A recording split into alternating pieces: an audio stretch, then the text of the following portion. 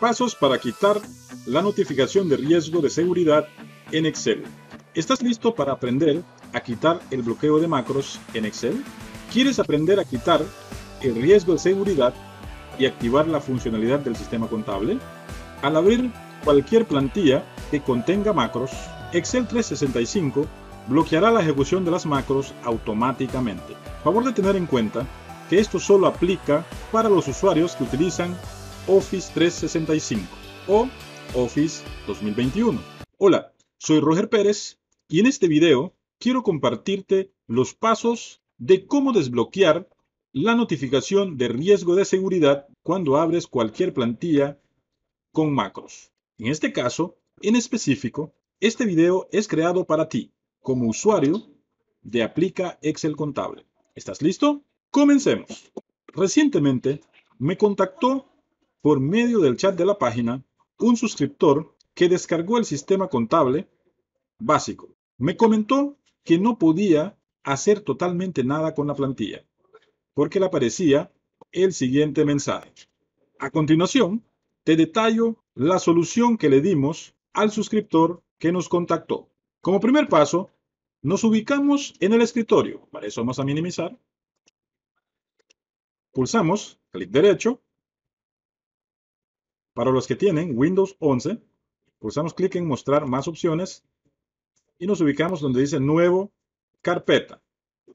A esta carpeta le vamos a nombrar plantillas. Antes de continuar con el siguiente paso y compartirte la solución definitiva, te presento el sistema integrado versión 7.0. El sistema integrado consta de dos módulos, el módulo contable y el módulo de facturación.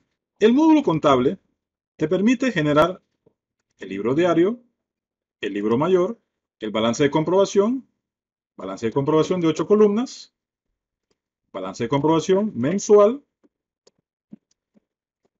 y los estados financieros, balance general y balance de resultado. El módulo de facturación te permite llevar el control de tus inventarios, el control de las cuentas por cobrar, cuentas por pagar y mucho más. Te dejo aquí el enlace de presentación para que puedas ver más detalles del sistema. También te dejo el enlace en la sección de descripciones y si aún no estás suscrito en nuestro canal, te invito a que te suscribas y actives la campanita para que puedas estar al día con todos los nuevos videos sobre Excel y contabilidad que compartimos en nuestro canal. Ahora sí, continuamos con el segundo paso. Abrimos un nuevo Excel. Pulsamos clic derecho, Excel.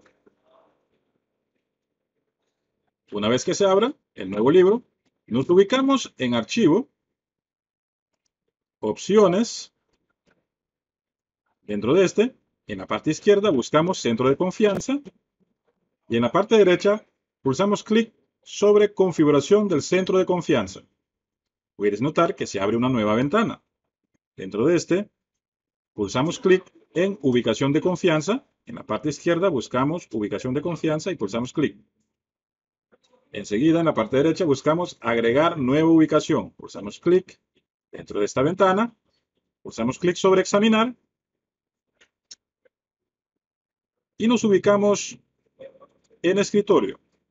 Dentro de este, hemos creado una carpeta llamado plantillas. Lo seleccionamos y pulsamos clic sobre aceptar. Nuevamente en aceptar.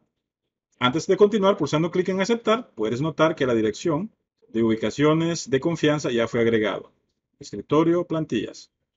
Pulsamos clic nuevamente en aceptar, aceptar y listo. Hemos agregado la carpeta plantillas como una ubicación de confianza. Ahora tan solo debemos de agregar dentro de la carpeta plantillas el archivo que te marca riesgo de seguridad. En este caso, es el sistema contable básico. En mi caso, primeramente vamos a cerrar este libro nuevo, lo cerramos. El archivo lo tengo en el escritorio. No olvides que cualquier descarga que se realiza desde Internet se descarga directamente en la carpeta llamada descargas. En tu caso lo puedes encontrar dentro de esta carpeta.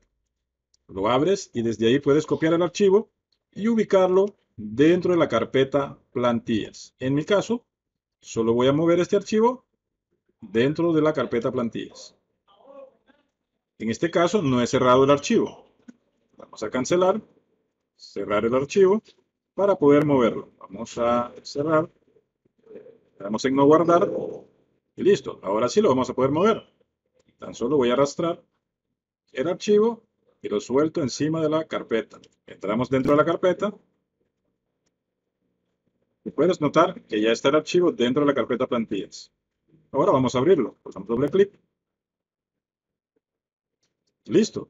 Puedes notar que ya no aparece el mensaje o la notificación de riesgo de seguridad. Ahora puedes notar que las macros funcionan correctamente.